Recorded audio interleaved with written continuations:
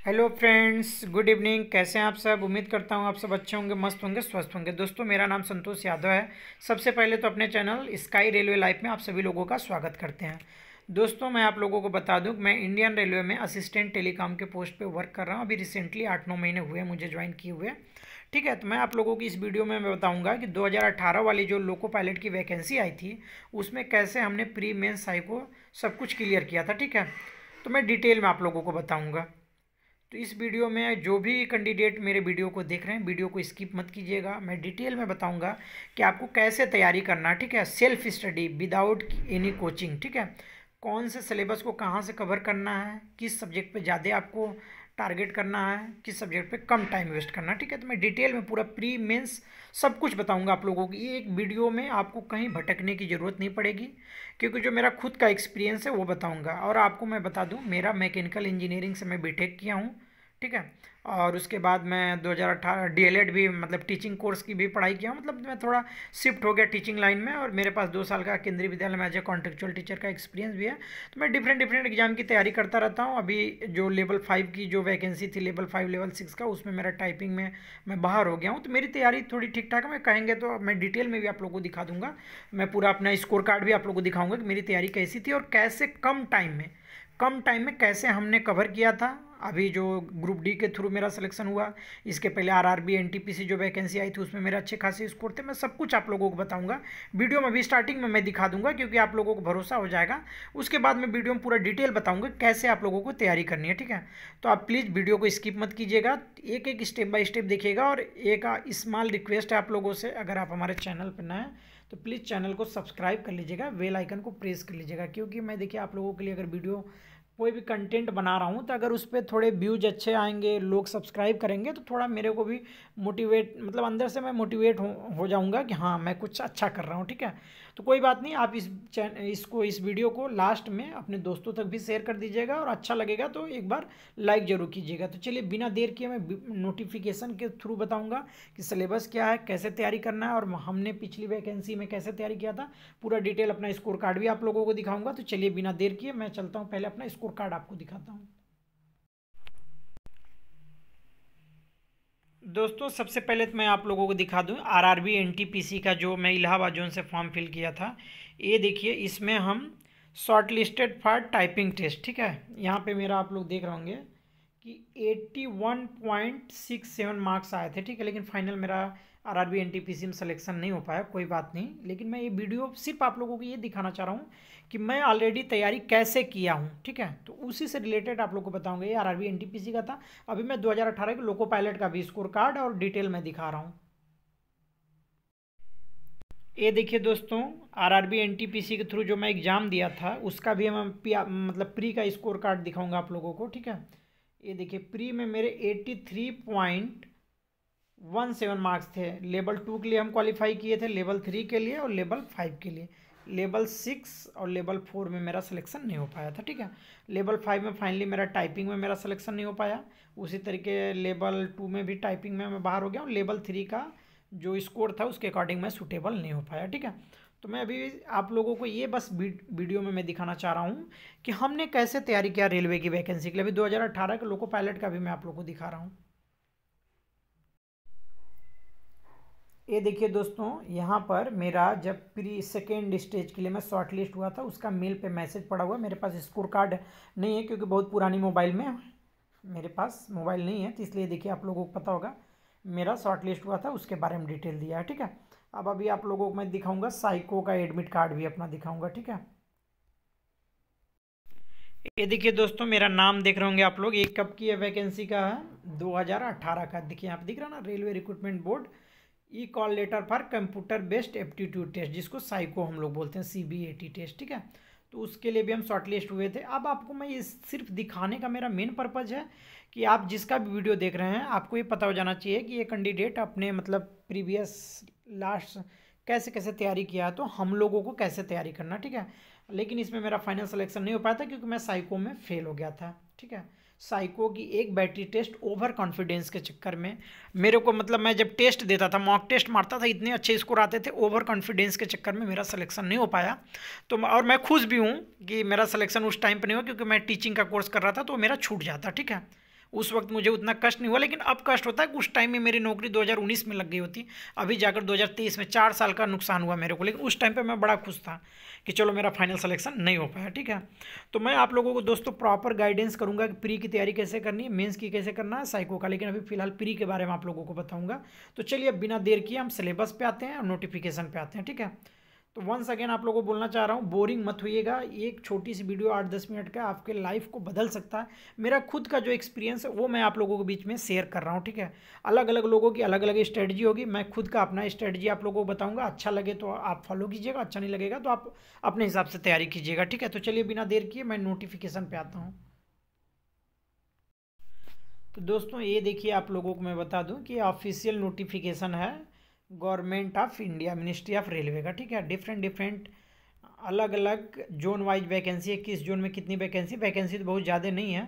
तो वैकेंसी पे मैं अभी बात नहीं करूँगा। अभी मैं सिर्फ़ बात करूँगा आप लोगों को स्ट्रेटजी पे कि स्ट्रेटजी कैसी हमारी क्या स्ट्रेटजी होनी चाहिए, ठीक है? तो देखिए, आप लोगों को पता है, आप लोगों को पता है कि एएलपी की जो प्रोसेस है C B T first C B T second और एक होता है सी बी ए टी जिसको साइको बोलते हैं, ठीक है? थ्री स्टेज का प्रोसेस है, ठीक है?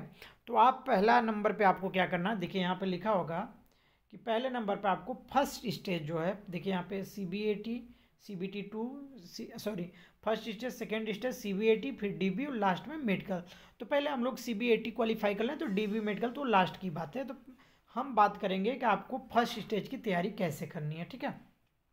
तो देखिए, यहाँ पे फ़र्स्ट स्टेज के बारे में पूरा डिटेल में लिखा हुआ मैं आप लोग को बता रहा हूँ। आपको पता होना चाहिए दोस्तों कि जो फ़र्स्ट स्टेज सीबीटी फ़र्स्ट है, सिक्सटी मिनट आपको मिलेंगे, सेवेंटी फाइव क्वेश्चन मिलेंगे, एक क्वेश्चन एक नंबर का होगा और वन बाई थर्ड आपके नेगेटिव मार्किंग डिडक्ट हो जाएँगे। इसमें चार सब्जेक्ट होते हैं, वो भी मैं आप लोगों को बताऊँगा। और आप लोगों को पता होना चाहिए, जो न्यू कैंडिडेट हैं, जिनको नहीं पता है, first stage only screening test है। मतलब इसमें क्या करेंगे, पंद्रह टाइम्स बीस टाइम जितना भी रेलवे अपने हिसाब से सी बी के लिए बुलाएगा उतने कैंडिडेट को शॉर्टलिस्ट कर लेंगे और फ़र्स्ट स्टेज का मार्क्स फाइनल सिलेक्शन में ऐड नहीं होगा। आपका final selection C B T two और सी बी ए टी दोनों को मिलाकर सेवेंटी और थर्टी के रेशियो पे होता। है इस बार का क्या रेशियो अभी मैं पूरा नोटिफिकेशन नीचे जाऊँगा, तब बताऊँगा आप लोगों को, ठीक है? तो चलिए, बिना देर किए आप लोगों को मैं डिटेल में बात करता हूँ कि कैसे तैयारी करनी है, ठीक है? तो यहाँ पे तो आप देख लेंगे कि मिनिमम चालीस परसेंट, तीस परसेंट तीस परसेंट और पच्चीस परसेंट लाना है। तो आप इसको मत समझ लीजिएगा कि इतना मार्क्स आप ला देंगे तो आपका सिलेक्शन हो जाएगा। कुछ लोगों को डाउट होता है। ये मिनिमम है। इससे अगर कम लाएँगे तो आप ऐसे ही बाहर चले जाएँगे। ठीक है? तो आप लोगों को पता है कि इस बार कट ऑफ़ बहुत हाई रहेगी क्योंकि काफ़ी दिनों के बाद 2018 पाँच साल छः साल बाद वैकेंसी आई है और नंबर ऑफ़ वैकेंसी बहुत कम है। ठीक है? तो कैसे तैयारी करनी है? कैसे हम अलग बात है बाद में वैकेंसी बढ़ भी सकता है। तो देखिए आपको क्या करना है, यहाँ पे चार चीज़ हैं mathematics mental ability general science general awareness अब देखिए दोस्तों, क्या करना है, यहाँ पर ए का जो एग्ज़ाम होता है ए एल के एग्ज़ाम में आपको मैं बता रहा हूँ मैथ और रीजनिंग का लेवल जो है, अगर टीसीएस कंडक्ट कराएगी तो लेवल अच्छा खासा रहेगा, ठीक है? तो आपको करना क्या है? स्पेशली जो एकदम बिगनर हैं, एकदम, जो एकदम मान के चलिए कि नए नए, एक साल, दो साल से तैयारी कर रहे हैं, उनको क्या करना है? जो एक्सपीरियंस कैंडिडेट है, उनको तो मेरा वीडियो उनके लिए बहुत फ़ायदेमंद नहीं है। उनको तो ऑलरेडी वो बहुत अच्छे से तैयारी कर चुके होंगे, लेकिन जो बिगनर हैं, आपको करना क्या है? पहली बात सिलेबस का, ठीक है? सिलेबस की फ़ोटो कॉपी निकाल कर अपने स्टडी टेबल के सामने आपको लगा लेना है। और एक एक टॉपिक जैसे नंबर सिस्टम है, ठीक है? बोर्ड मास है सारे टॉपिक को आप क्या कीजिए, पहले एक बार। एक महीने के अंदर मैथ और रीजनिंग के सारे टॉपिक को किसी एक यूट्यूब चैनल जैसे मैं फ्री में बता दे रहा हूँ, साहिल सर, पुरानी वीडियो उनकी बहुत सारी मैथ की पड़ी हुई है, ठीक है? मैथ के लिए बता रहा हूँ आपको। साहिल सर की आप वीडियो जाकर उनके प्लेलिस्ट में जाइए, बहुत सारी पुरानी वीडियो पड़ी है। वहाँ से साहिल सर का वीडियो उठा लीजिए। वाईफाई पे ही एक दो रीजनिंग के सर हैं, उनकी वीडियो आप रीजनिंग प्रॉपर अच्छे से उठाकर कंप्लीट कर लीजिए और नोट्स बना लीजिए, ठीक है? अब आपको जनरल साइंस क्या करना है? वाईफाई के चैनल पे नीरज सर का आप जनरल साइंस का वीडियो उठाकर अच्छे से प्रॉपर तैयार कर लीजिए। फ्री में बहुत सारे प्लेलिस्ट बने हुए आपको कहीं पैसे नुकसान करने की ज़रूरत नहीं अगर आप किसी का कोर्स नहीं ले पा रहे हैं तो प्रॉपर तो स्ट्रेटजी यही होनी चाहिए कि आप किसी का एक कोर्स ले लीजिए और अच्छे से तैयारी कर लीजिए, ठीक है? जनरल अवेयरनेस को क्या करना है आपको? जनरल अवेयरनेस के लिए कुछ नहीं करना, सिर्फ़ आपको लुसेंट लुसेंट अच्छे से पढ़ लीजिए लुसेंट पढ़ लीजिए और एक आपका पटना में कोई बुक है, अभी उसका स्पीडी करके स्पीडी करके कोई बुक आती है, उसको आप ज़रूर जनरल अवेयरनेस और जनरल साइंस के लिए अभी आपको मैं बता रहा हूँ, ठीक है? आपको करना क्या? है पहली बात तो मैथ और रीजनिंग हो गया आपको। वाईफाई स्टडी वाले यूट्यूब पे जाइए वहाँ पे बहुत मैथ का और रीजनिंग का R R B N T P C के नाम से आप सर्च कीजिएगा प्ले लिस्ट बना हुआ, वहाँ से प्रॉपर आप जितना जल्दी से जल्दी मतलब एक महीने के अंदर मैथ और रीजनिंग पहले कंप्लीट कर लीजिए। अभी टेस्ट देने की ज़रूरत नहीं, पहले कंप्लीट कर लीजिए। और साइंस भी वहाँ से, ये तीन चीज़ आपका कंप्लीट हो गया। अब जन, जो जर्नल अवेयरनेस है, इसके लिए आपको क्या करना है? लूसेंट लूसेंट और स्पीडी की बुक आती है रेलवे के नाम की। ये दोनों बुक को आपको मैक्सिमम टाइम्स जितना ज़्यादा पढ़ सकते हैं, इसमें साइंस भी कवर हो जाएगा आपका स्पीडी और लूसेंट से, ठीक है? तो आपको एक एक एक महीने के अंदर ये चारों टॉपिक को पहले कंप्लीट कर लेना, ठीक है? जैसे आपका ये कंप्लीट हो जाएगा चारों टॉपिक उसके बाद आपको क्या करना, एक बेस मिल जाएगा आपको, ठीक है? एक बेस मिल जाएगा कि मेरी तैयारी कैसी है, ठीक है? और मैथ और मैथ के लिए एक फार्मूला मैथ के लिए क्या कीजिएगा, एक पतली सी कॉपी में पूरे फार्मूला को एक जगह प्रॉपर टॉपिक वाइज समराइज करके लिख लीजिएगा, क्योंकि फार्मूला लास्ट में बहुत काम आता है। उसी तरीके रीजनिंग का एक दो पेज पे जो फार्मूला बेसिस है, उसको भी लिख लीजिएगा। आप जैसा मैं करता तो वो आप लोगों को बता रहा हूँ। मेरी मैथ की नोट्स एकदम पतली सी एक कॉपी है, एक रीजनिंग की है, एक जीएस के लिए। बस तीन कॉपी में बनाया हूँ अभी तक अपने तैयारी के दौरान, ठीक है?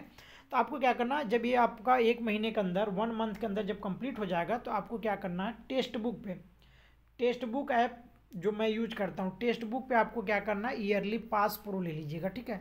जैसे ईयरली पास प्रो ले लेंगे, प्रीवियस ईयर के बहुत सारे लोको पायलट का R R B N T P C का, बहुत सारे रेलवे की प्रीवियस ईयर का उस पर क्वेश्चन पेपर हैं। आपको टेस्ट देने के लिए बनाकर टेक्स्ट बुक प्रोवाइड कर, किया है, ठीक है? तो आपको करना क्या है? पहले अपने दिमाग को भटकाना नहीं है, बहुत ज़्यादा नहीं आप सिर्फ़ एएलपी के प्रीवियस ईयर के जो टेस्ट हैं, उसको आप अच्छे से दीजिएगा, ठीक है? अब उस टेस्ट में आप क्या कीजिएगा, जो रीजि करेंट अफेयर्स के क्वेश्चन है करेंट अफेयर्स के जो क्वेश्चन होंगे, उसको आप छोड़ दीजिएगा क्योंकि करेंट अफेयर तो अभी रिसेंटली के आएँगे। तो आपको डेली डेली करेंट अफेयर्स भी देखना करेंट अफेयर्स के लिए आपको क्या करना कुमार गौरव सर का अगर आप वीडियो डेली देख सकते हैं तो आपका क्या होगा? करेंट अफेयर्स जीएस साइंस सब कुछ तैयार हो जाएगा। लेकिन अगर एग्ज़ाम बहुत जल्द होने वाला होगा तो उनकी वीडियो बहुत लेंदी होती है।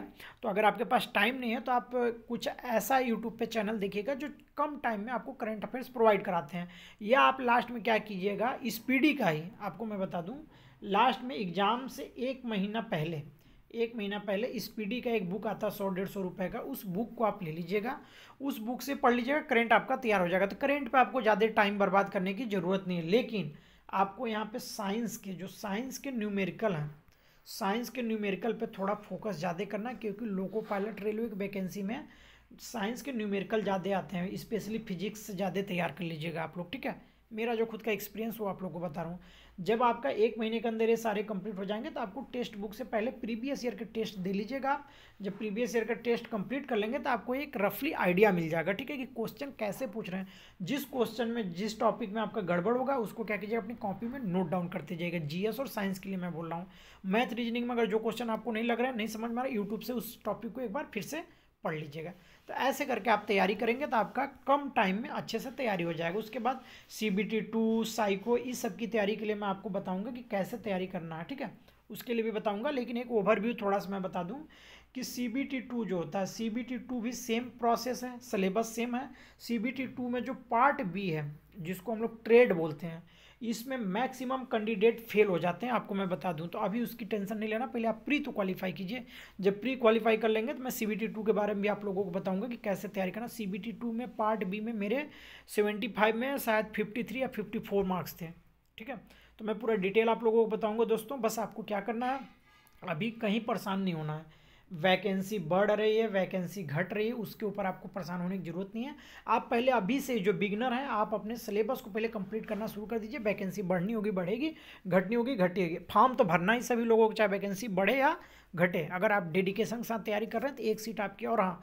एक चीज़ आप लोगों को और मैं बता दूँ कि सिर्फ़ इसमें आईटीआई डिप्लोमा और बीटेक वाले कैंडिडेट होते हैं। मतलब टेक्निकल कैंडिडेट होते हैं तो कट ऑफ़ बहुत हाई नहीं जाती कट ऑफ़ कम जाती है, क्योंकि जो टेक्निकल कैंडिडेट होते हैं, वे लोग क्या करते हैं, जो अच्छे कैंडिडेट टेक्निकल को होते हैं, वो अपनी इंजीनियरिंग की तैयारी में लग जाते हैं। जैसे जेई हुआ S S C JE R R B J ठीक है?